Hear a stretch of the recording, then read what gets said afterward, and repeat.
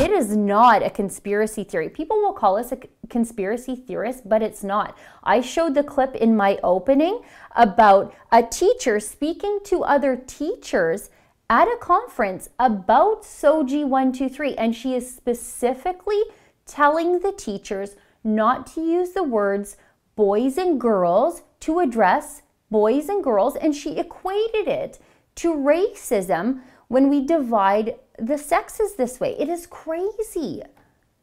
It really is. And uh, Glen Hansman, the president of the BCTF, this is his thing as well. We have clips of him saying, you know, uh, you know that we don't need to uh, be addressing boys and girls. We don't use that in other languages, uh, you know, and and uh, it's his whole desire as an LGBTQ activist to come and step into our schools and basically change our culture. I have some exciting news though, Sheila.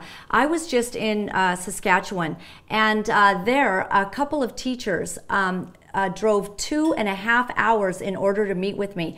The exciting news is, is that as parents are beginning to be aware of this and also teachers, you teachers out there, you have a choice. Apparently they are saying that SOGI 123 is, you know, completely subjective and it's not mandatory. Although principals and some people are feeling a lot of pressure, especially from the uh, BCTF president telling them that they might lose their uh, teaching licenses. Well, that's sort of fascism, isn't it? And so he's, you know, imputing his ideology onto everybody else to teach. But as teachers are rising up, as parents are rising up, the good news is, is that they are beginning to change the language, even in the SOGI curriculum. They're starting to rewrite parts. Like when they see our interview, Sheila, they go, oh, you know what, they're all upset about this. Yeah, okay, well, you know, let's pull this back. But here's the thing, we're not going to be happy until every last bit of this is out of the schools. You may not tell our children that they are, um, you know, gender fluid.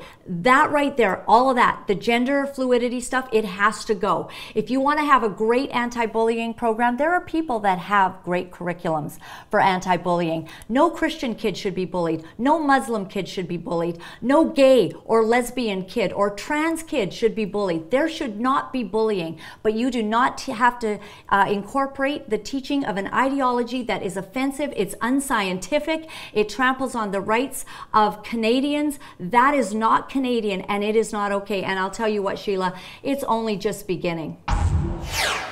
That's an excerpt from my weekly full length show, The Gunn Show. On my show, I take on the issues of the day through my Alberta conservative lens, and I talk to the real newsmakers the mainstream media ignores.